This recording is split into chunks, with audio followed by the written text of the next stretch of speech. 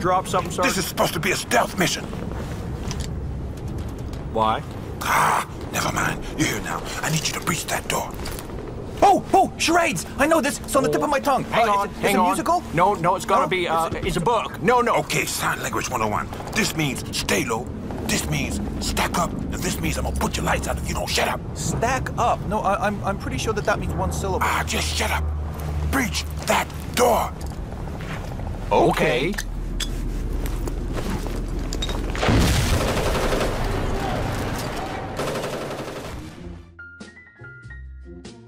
Hey guys, Captain Jack here, and welcome to another episode of History and Lore. In part 5 of my Battlefield series, we look at one of the more unique story driven Battlefield games, Battlefield Bad Company. On June 23, 2008, DICE and EA released the fifth title in the Battlefield franchise, Battlefield Bad Company. Bad Company was unique in the series in that it was developed for consoles only and featured a full single player story driven campaign, unlike the other Battlefields, which had no story. The player takes control of the main protagonist, Private Preston Marlowe, and follows his exploits to steal gold from mercenaries along with his squad, right in the middle of a war between the United States and the Russian Federation. I hope those are our guns. It's a beautiful sound either way. Listen now, boys. Ah, typical. Drink your wine and sweets. It's about time we got some action. Look at the new guy. He's.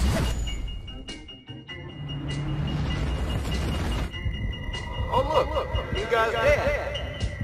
Already? I was just about to learn his name. I think it was probably Joe. Usually is. His name is Preston. Preston Marlowe. The game had a focus on squad based combat, while still retaining the vehicular large scale warfare of the series in multiplayer. Gameplay retained the basic Battlefield formula, with the addition of highly destructible environments utilizing the new Frostbite engine, which allowed for an estimated 90% of the environment to be destroyed. Things like trees, buildings, grass, bushes, vehicles, and other players, and the very ground itself were all destructible, with some exceptions for the purpose of gameplay. They didn't want the maps to be completely flat after every battle. When wounded, the player can heal themselves with a Life 2 auto injector. Everyone okay? Never been better. I'm fine. New guy's fine too. Way to go, new guy. Staying alive. Very good start. On the smoke! Regroup! Multiplayer supports up to 24 players. It had a game mode called Gold Rush, which was the only multiplayer mode included in the initial release of Bad Company, where one team had two crates of gold to defend while the other team attempts to destroy the crates. If Team 1 was able to destroy the crates, it would open up more of the map available for fighting, and unlocking two new crates. The attacking team has a limited amount of respawns to achieve their goal of capturing the 3 to 5 gold stashes, each by setting charges or simply destroying the two crates of gold at each base. The defending team has an unlimited amount of respawns available, but their goal is to exhaust the attacking team's respawns to win. The Conquest game mode that Battlefield is known for was completely absent in the beta version of the game and on the initial release, but because of a strong outcry from the beta players, Conquest mode was eventually added in a patch after release. The game has 25 ranks, all based on US Army ranks, examples being Corporal, Sergeant, Colonel. With each rank, you unlock credits, which are used to unlock weapons. Much like Battlefield 2142, Bad Company had a reduced soldier class list, with previous classes being combined. The classes that were available were Assault, Demolition, Recon, Specialist, and Support. Bad Company introduced the concept that we know now as the dog tag system, where every knife kill gives you a dog tag. Depending on the rank of the player that you knife, you get an extra bonus amount of experience. The higher the player's rank, the more experience you get. Battlefield Bad Company had an actual plot. Set during a near future war with the Russian Federation and the United States, it follows four squad members from B Company of the 222nd Army Battalion, commonly known as Bad Company, mainly composed of troublemakers who are used on the battlefield as cannon fodder. You are go for Objective Mustang. Over. Could you tell her I said hi? Objective Mustang. Affirmative. You play as Private Marlowe, who's the game's main protagonist, and you just transferred to Bravo Company. Private Preston Marlowe reporting for duty, sir. You sure you're in the right place? I believe so, sir. Joining Preston is Private Terrence Sweetwater Juliet, over. Uh, the dulcet tones of Miss July. Mike 1 Juliet, this is Bravo 1 Charlie. and Private George Gordon Haggard Jr., who's a pyromaniac and the comic relief for the story. And lastly, there's Sergeant Samuel D. Redford, the leader of the squad. Idea of fun, Haggard. Well, yeah. May I ask you why? The gold! Didn't you see it? I mean, Sweetwater can never swallow a piece that big. Just shut it, Hag. Give me one good reason that I should not send your ass to jail. Well, because you love me, Sarge. In a plutonic way. Redford being the only person to ever volunteer for his position to shorten his term of service. At the start of the game, he only has three days remaining before retirement. After joining Bad Company, you embark on your first mission with your new squad. That being seizing a Russian artillery position and turning the guns on advancing enemy armor. Proceeding to knock out several anti-air batteries, clearing the way for advancing armor and taking control of a city of Zadgrad. The group stumbles upon a Legionnaire encampment. These are mercenaries whose leader is the ruthless commander Legionnaire. No, but you've deserved it. The Legionaries are possibly the most deadly army in the world, according to Sweetwater, who also mentioned how each is paid in solid gold bars. Transported to the dock farther away from the US Army, they spot more Legionnaires loading a supply truck full of gold. Where are they going so fast? The truck ends up driving past the border into nearby Serdaristan, a neutral state in the conflict. Haggard, however, excitedly runs after the Those the truck full of gold, I told you single-handedly it was a shortcut. invading a neutral They're crossing the border country. Now, we can't follow them any farther. Where did Haggard go?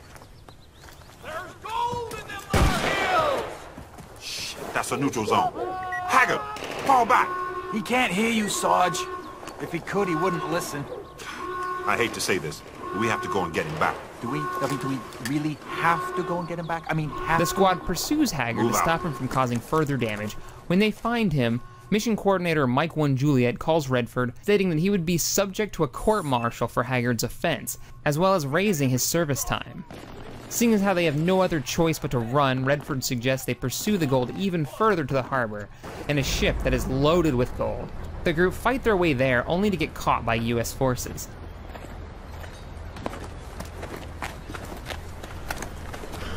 Soldiers of Pico, lay down your arms. You are in breach of Army regulation. Lay down your arms or we will take you by force. Yeah? Says you and what army? What? I just always wanted to say that. Why? Sounds cool. Really shut him up. You shut up. Look around. That arm. Say goodbye to the gold.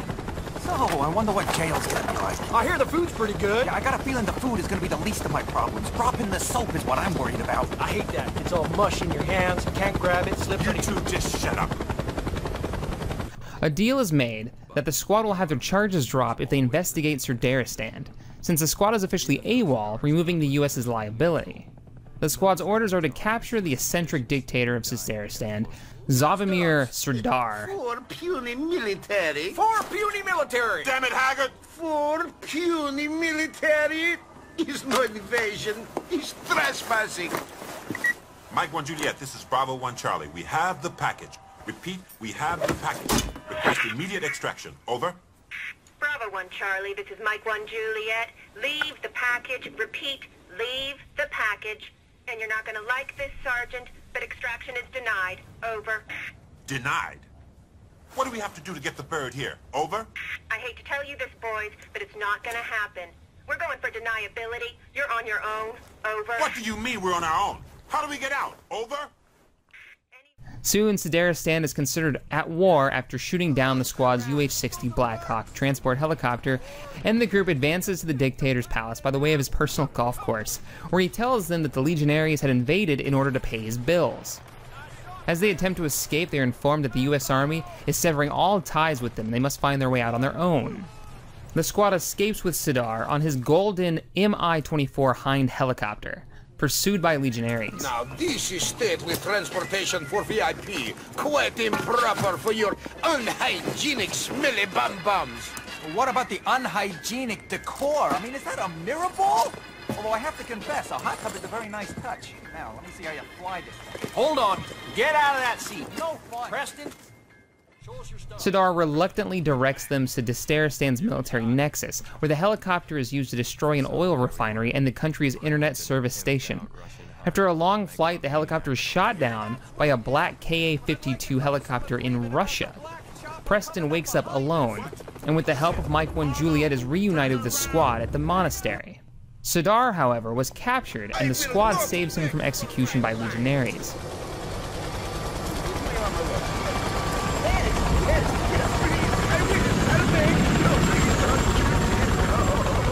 What are we gonna do? Why don't you think of something, smarty pants? Now, both you motor mouths, shut up. Just follow me.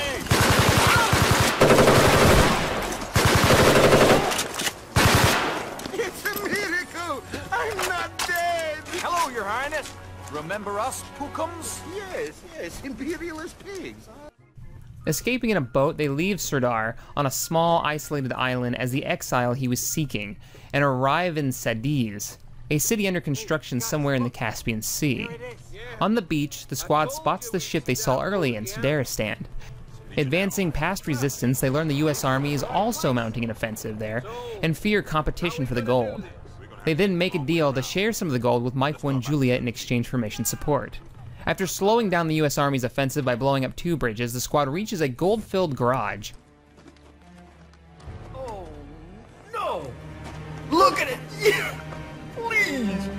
Please! It's true. It's true. Tons of gold. My thoughts exactly. Well, I'll be damned.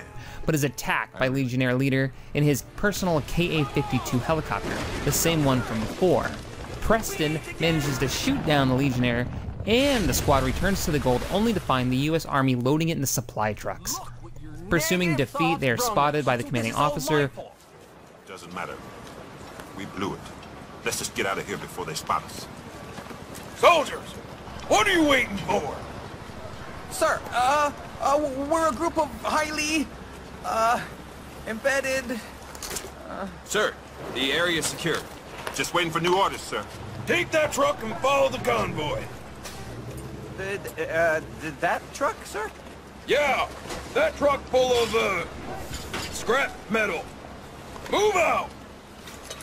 Sir, yes, sir! Preston convinces him that they are army operatives, and the officer orders them to take a truck and join the convoy. The squad happily obliges, but elopes out of the convoy with a gold filled truck. Meanwhile, at the KA 52 crash site, the Legionnaire rises from the burning wreckage with a vengeful expression, seemingly unhurt.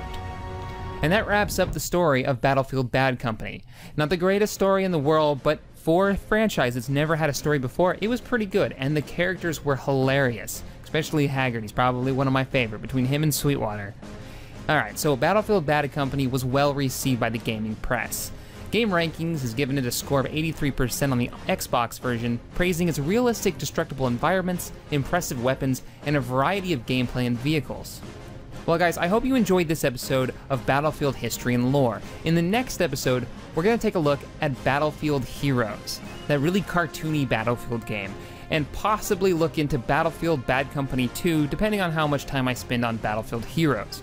Well, if you like this video, please hit that like button, subscribe to TGN for more gaming goodness, or my channel for more modding goodness. And as always, thanks for watching. I will see you guys next time. Sarcosaurus Rex, here I come. Grad school, here I come. Woo! Let's go fishing!